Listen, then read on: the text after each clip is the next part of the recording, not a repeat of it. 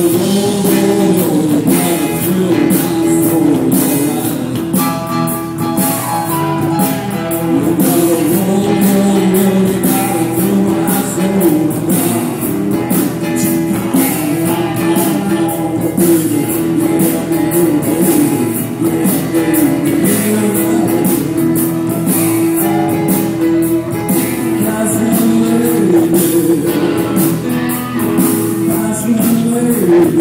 Without your love,